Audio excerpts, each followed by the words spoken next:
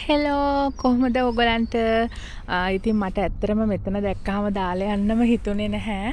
මේ මල්ල ඒ තරමටම ලස්සනයි. ඒ නිසා මෙතන ඔගලන්ට වීඩියෝ එකක් ගන්නට ඕනි කියලා හිතුනා බලන්න ලස්සනයිද කියලා මට වගේම ඕගලන්ටත් මේ දවස්වල ඇත්තටම හැමතැනම මල් තියෙනවා. ඔගලන්ට තේරෙනවද?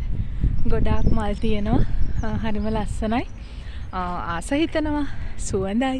මේවා ආටිෆිෂල් මල් වගේ ඇත්තටම ඒ තරමටම ලස්සනයි. හුඟක් ගණකමයි ටියවලිප් එක්කම තියෙන මේ අනිත් මල් වර්ග ගැන තමයි මම මේ ගොඩක් කතා කරන්නේ. ටියවලිප් නම් ලොකු සුවඳක් නැහැනේ. නමුත් අනිත් මෙතන තියෙන මේ සුදු පාට දම් පාට මේ පොකුරු පොකුරු තියෙන්නේ. ඔන්න මං ක්ලෝස් කරනවා. මෙන්න මේ පොකුරු පොකුරු තියෙන්නේ. ඒව හරිම සුවඳයි. ඒවා ඉටි මල් වගේ. ඉතින් ඒ නිසා තමයි මම මේ වීඩියෝ එක ඔයගලන්ට ගත්තේ. ආසා හිතෙන නිසා ගොඩක්ම කියන්නට ආසාවෙන් ඉන්නේ මල් ගොඩාක් පිපිලා පිපිලා මේ දවස්වල මුළු ප්‍රංශයේම යන යන ලස්සනයි. ඉතින් එහෙනම් අදටත් ඕගලන්ගෙන් සමුගන්නයි මේ සූදානම් වෙන්නේ ආපහු මල් ටිකක් දැක්කොත් අනිවාර්යෙන්ම ඕගලන්ට මේ මල් ටිකත් අරගෙන එන්නම්.